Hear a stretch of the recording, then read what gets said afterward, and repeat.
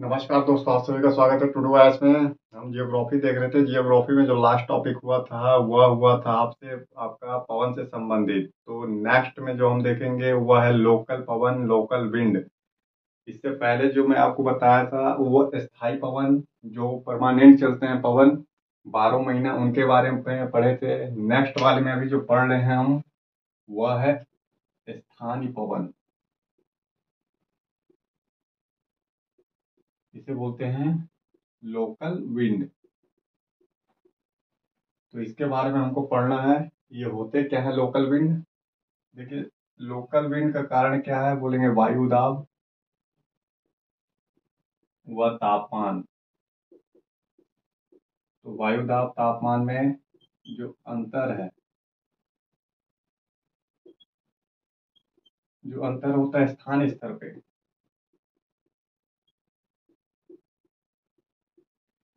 अर्थात वायुदाब तापमान में लोकल लेवल पे जो लोकल स्तर है लोकल लेवल पे अंतर होता है, अंतर के कारण जो रहते हैं, स्थानीय पवने चलते हैं। ये पवने किसी विशेष क्षेत्र में ही चलते हैं। ऐसा नहीं है कि बारह महीना चलते हैं, समय समय पर चलते हैं और समय समय पर लुप्त हो जाते हैं। और हर कंट्री में ज़रूर लोकल पवने होती है, जो उस क्षेत्र के तापमान को, जलवायु को प्रभावित करती है।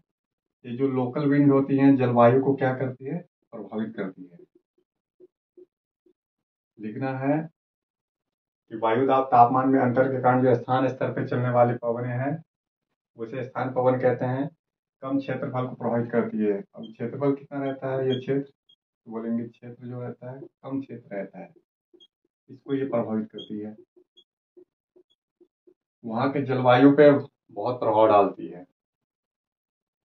अब देखते हैं कुछ क्लासिफिकेशन है। इसमें क्लासिफिकेशन ऐसे करिए सबसे पहले जो प्रमुख प्रमुख है, स्थल समीर। समीर का मतलब होता है पवन, पर्यावाची पढ़ेंगे, समीर का मतलब है पवन। स्थल पवन, स्थल समीर, फिर पढ़ेंगे समुद्र, समीर। फिर इधर पढ़िए, पर्वत समीर और घाटी समीर।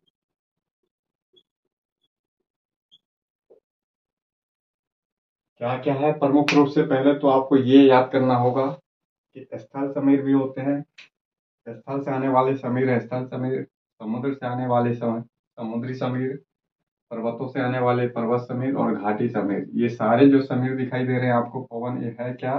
तो बोलेंगे लोकल पवने हैं। लोकल विंड है। अब एक बार डायग्राम से दोनों को देख लेते हैं हम। सेक्शन को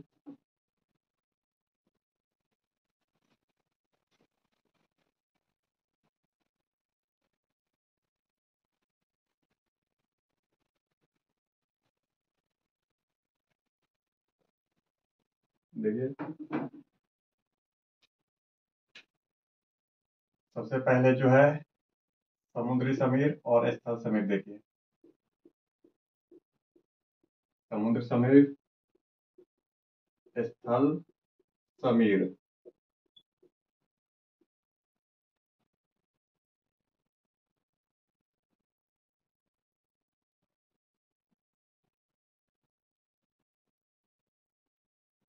ये कोई समुद्र मान लीजिए इसको और ऐसे करके ले चल सकते हैं।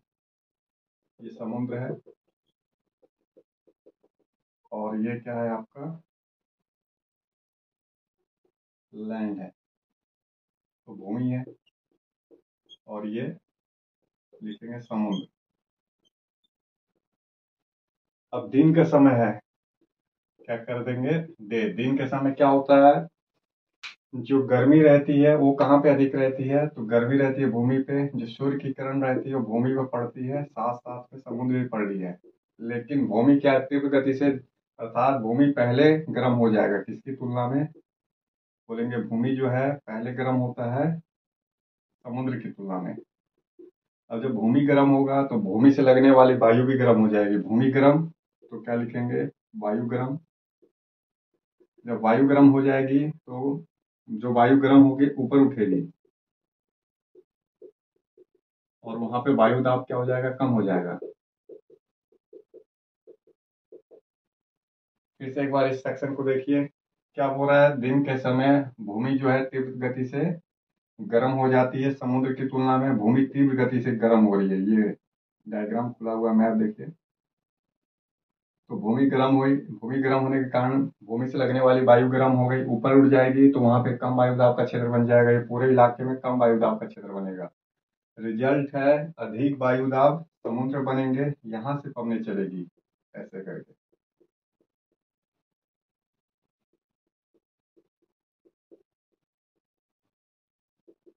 एरो का निशान देखिए, एरो। तो पवन क्या है? पवन का सेक्शन इस साइड आ रहा है। समुद्र से चल रहा है, स्थल की ओर। क्या बोल रहे हैं आपको? समुद्र से स्थल की ओर चल रहे हैं।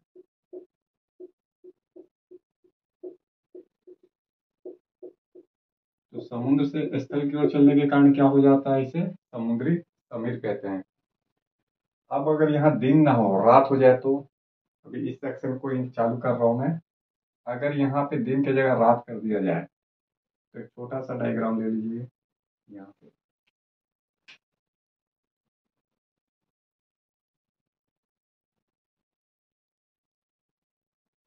मान लेते हैं ये समुद्र है। और ये भूमि है। अब रात हो गया। तो रात में क्या रहेगा? समुद्र गर्म रहते हैं और ये ठंडी हो जाएगी। ये पूरा भूमि जो है ठंडी हो जाएगी। पूरी भूमि ठंडी होने के कारण वायु ताप कहाँ पे अधिक रहेगा? इस भूमि पे अधिक रहेगा।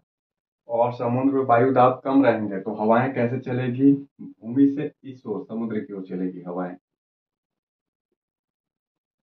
एरो का निशान फिर से देख लीजिए। किस साइड चल रही है रात में। रात में कंडीशन उल्टा हो जा रहा है।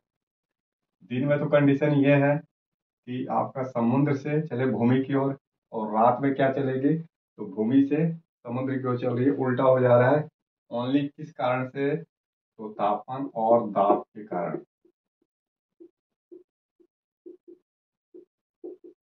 और इन दोनों के बीच का रिलेशन क्या है? ये दोनों एक दूसरे के उल्टा होते हैं, तापमान और वायु दाब एक दूसरे के उल्टा होते हैं।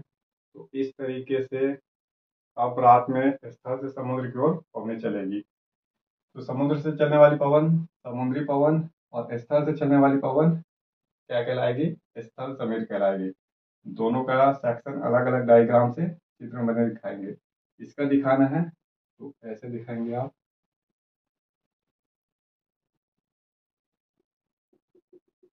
जो स्थल समीर है, ये वाला है जो स्थल समीर, ऐसे हवाएँ दिखाइए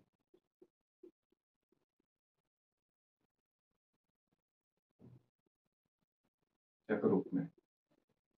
तो ये हो जाएगा आपका स्थल। और स्थल से चल रही है हवाएँ किस साइड? समुद्र की ओर। और समुद्र बढ़ाइए। पूरा। तो ऐसे करके डायग्राम आपको शो करना होगा स्थल समीर और समुद्री समीर का। नेक्स्ट में हमारा क्या है? तो पर्वत पवने हैं। पर्वत से आ रही है कि घाटी से आ रही है। ये डिसाइड करता है पवन किस साइड से आ रही है, उसके नाम पे है वायु का नाम रखा जाता है। समुद्र से आ रही है तो समुद्र पवन, स्थल से आ रही है तो स्थल पवन कहलाएगी।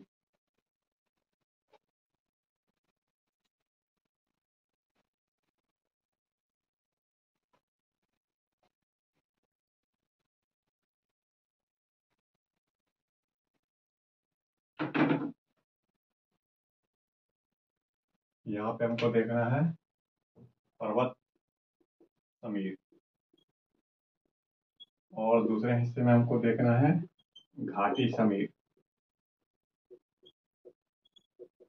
दो सेक्शन फिर से कर लीजिए। पर्वत से आने वाला किस तरीके से रहता है?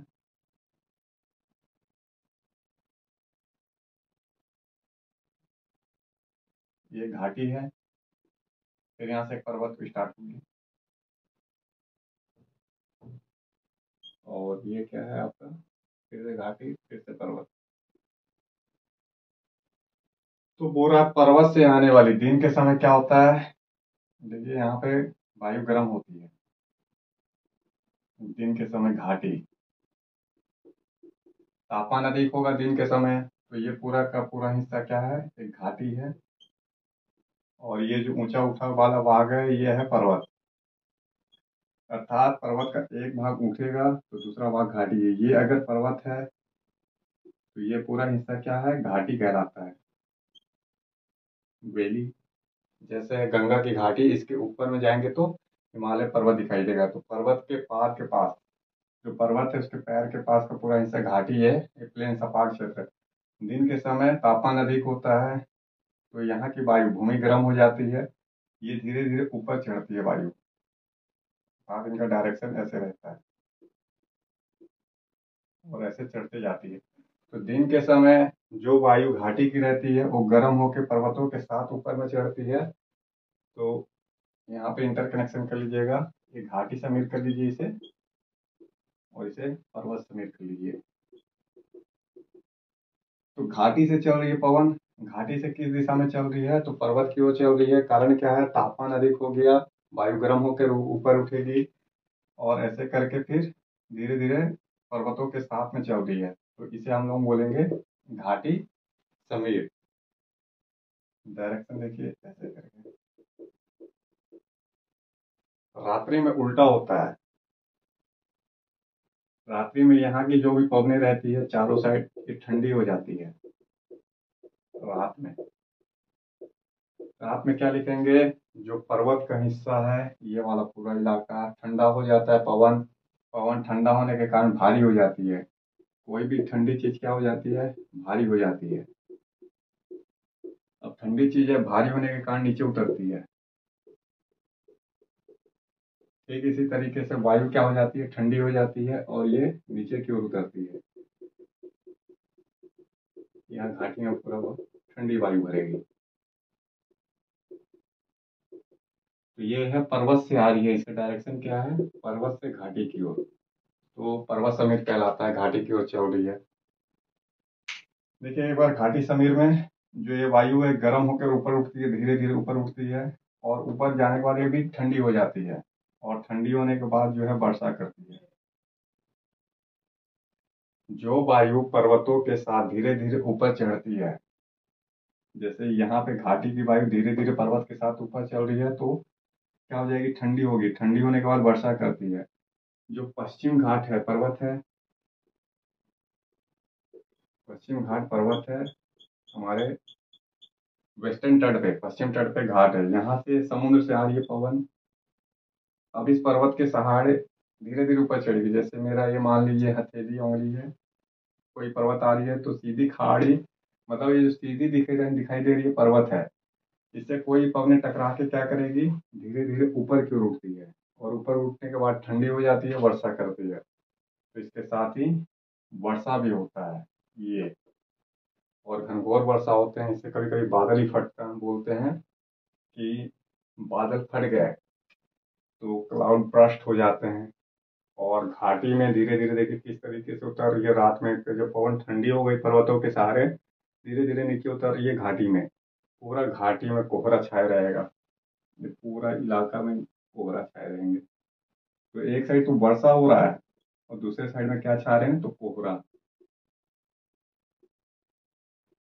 इसीलिए कभी भी घाटी में खेती नहीं होता है, बल्कि पर्वतों के ढाल के पास। ये जो ढाल दिखाई दे रहा है आपको, इस वाले इलाके में खेती होंगे।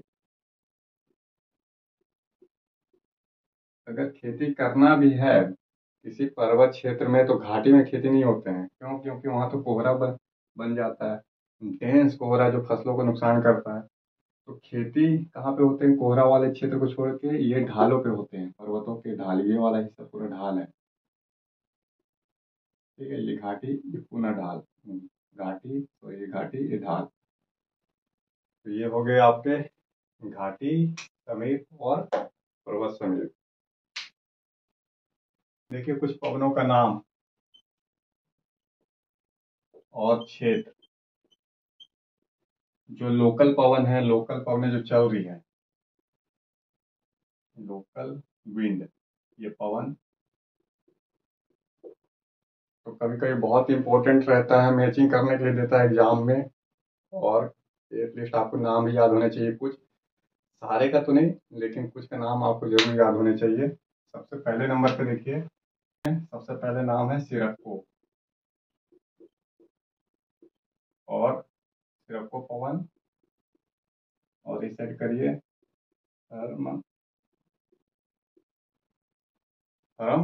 तट। ना है।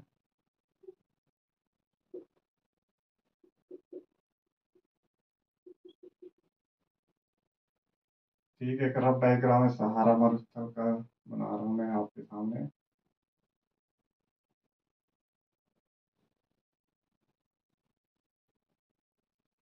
ये पूरा इलाका क्या है? सहारा मरुस्थल है। सहारा मरुस्थल। सहारा मरुस्थल की दो महत्वपूर्ण पवन का नाम है। एक है सिरप्पो पवन है, दूसरा है हरम तट।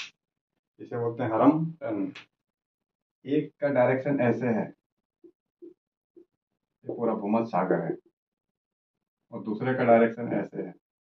दिशा देखिएगा, पवन का एक गिन्नी की खाड़ी है। गिन्नी की खाड़ी। तो ये जो है आपका डायरेक्शन इस दिशा में जाने वाला पवन है सिरक्को। सिरक्को पवन सहारा मरुस्थल में चलते हैं भूमध सागर की ओर चल रहे हैं। किस साइड चल रहे हैं बोलेंगे भूमध सागर। और किस तरीके की पवन है बोलेंगे गर्म व शुष्क है। तो सिरक्को पवन भूमध सागर की ओर चल रहे हैं, सहारा मरुस्थल से। गर्म और शुष्क पवन है। और ये हरम तट क्या है? तो नीचे की ओर गिन्नी की खाड़ी, सहारा मरुस्थल से गिन्नी की खाड़ी की ओर चल रहे हैं। यह भी गर्म और शुष्क पवन है। हरम तट भी गर्म और शुष्क पवन है। तो गिन्नी की खाड़ी की ओर चल रहे हैं। हरम तट का दूसरा नाम है डॉक्टर हवाएँ कहते हैं डॉक्टर हवा तो दो हवा तो वैसे हो गई सिरक्को और हरम टन दोनों चल रहे हैं सहारा मरुस्थल में। एक और देख लीजिए, सहारा मरुस्थल में।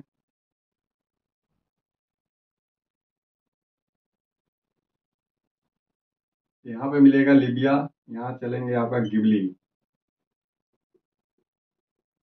एक अन्य पवन का नाम है गिबली पवन। नोट करते चलिए, पवन का नाम। कहाँ चल रहे हैं गिबली लिबिया। ये भी कहाँ पे? अफ्रीका में है। पुनः यहाँ पे इजिप्ट दिखेगा ये, मिस्र। यहाँ पे चल रहे हैं खमसीन।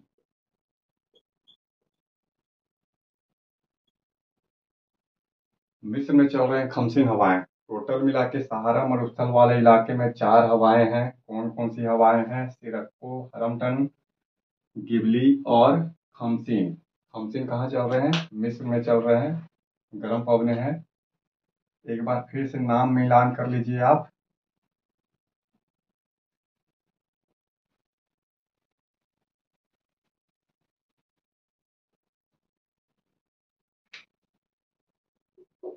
गिबली पवन का नाम है। गिबली पवन कहाँ चल रहे हैं? लिबिया खमसीन ये चल रहे हैं आपके मिस्र में। करिएगा खमसीन है।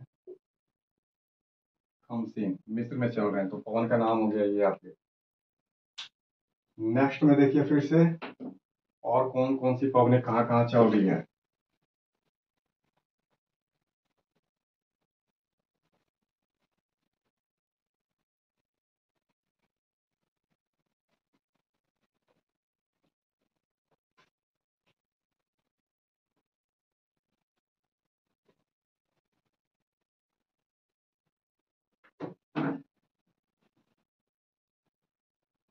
और देखिए कौन कौन सी पवने कहाँ चल रही है। बोलेंगे मिस्ट्रल मिस्टर क्या है, फ्रांस में चलती है। फ्रांस में चलने वाली पवने हैं मिस्ट्रल इसी तरीके से चलेगी आपकी। क्या चलेगी? लू, भारत में। फिर चलेंगे बिलियार्ड।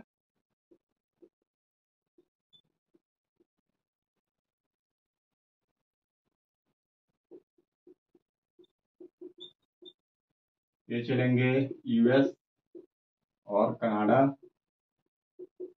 अंटार्कटिका में।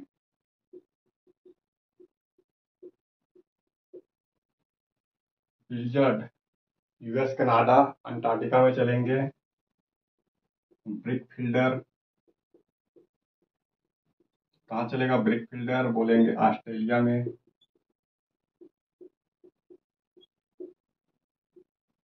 इसके बाद सांता आना। सांता आना बहुत ही इंपॉर्टेंट है।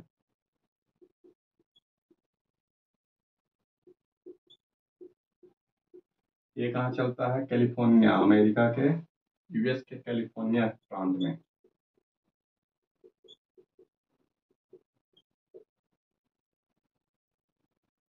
पहले तो नाम मिलान कर लीजिए।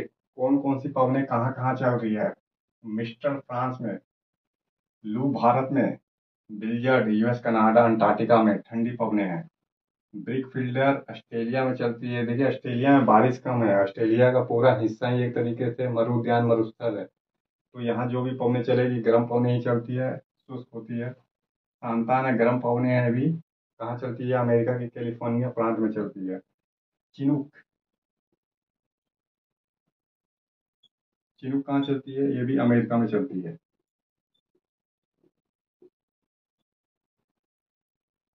चिनुक कहाँ चल रही है?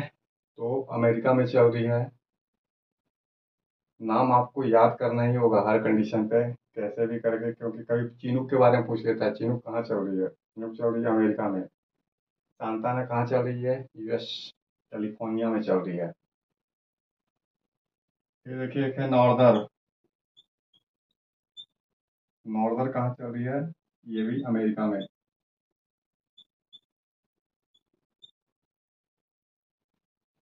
नॉर्दर अमेरिका में चल रही है।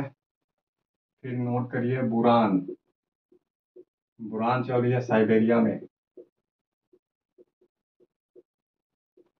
साइबेरिया कहाँ है? तो रूस में है। रूस का एक बड़ा भाग साइबेरिया कहलाता है, ठंडा। और शुष्क पवने चल रही है। बुरान जब भी साइबेरिया में चलती है तो अपने साथ हिम के कणों को लाती है। बर्फ़ लेके आती है, पूरा इलाका ठंडा हो जाता है, तापमान बहुत तेज गति से गिरता है। ठीक इसी तरीके से बिलियर्ड है। बिलियर्ड और बुरान सेम है। नॉर्दर्न अमेरिका में चल रही है चिनुक, गर्म पवन है। एक है बोरा। बोरा कहाँ चल रही है? ये भी फ्रांस में चल रही है। देखिए, मिस्ट्रल और बोरा दोनों ही फ्रांस में चलते हैं। मिस्ट्रल और बोरा। शामुल शामुल ये चल रहे हैं ईरान में। शामुल कहाँ चल रहे हैं? ईरान में चल रहे हैं। इस तरीके से लोकल पवनों के काफ़ी सारे नाम हैं। इनको आपको बार बार नोट करना पड़ेगा, किस लिए चल रहे हैं तो सेम बोलेंगे। तापमान वायु दाब में अंतर के कारण। तो तापमान और वायु दाब के कारण लोकल लेवल पे चलते हैं। अगर लू की ही बात कर लूँ तो क्या क्राइटेरिया है इसका? मापदंड क्या रहता है लू का? कि टेम्परेचर अधिक हो जाए, ग्रीष्म ऋतु में जब तापमान अधिक हो जाता है तो उसके बाद अप्रैल से ही लू चलना स्टार्ट करते हैं। मई, जून में लू अधिक हो जाते हैं, तीव्र गति से चलते हैं और कहाँ तक चलते हैं? राजस्थान से लेकर बंगाल की खाड़ी तक चलते हैं। पाकिस्तान का ही बड़ा इलाका लू के चपेट में रहता है।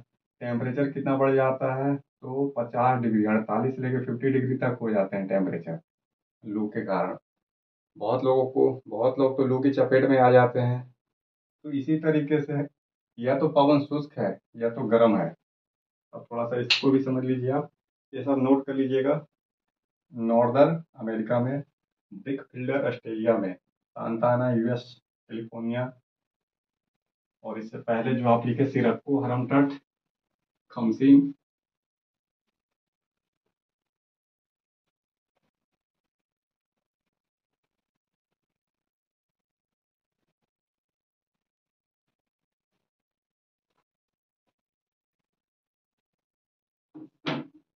देखिए, यहाँ पे क्या है?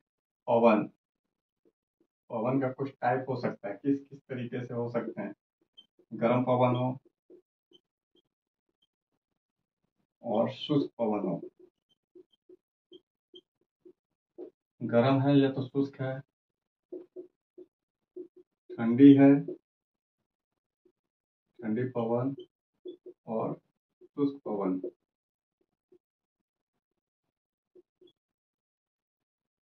फिर क्या है? गर्म है वह आर्द्र है। देखिए, गर्म पवन क्या रहती है? उसमें आर्द्रता ग्रहण करने की कैपेसिटी अधिक रहती है। अगर पवन गर्म हो जाए, कोई वायु गर्म हो रही है, ये वायु गर्म वायु है। गर्म वायु, इसकी आर्द्रता ग्रहण करने की क्षमता बढ़ जाती है।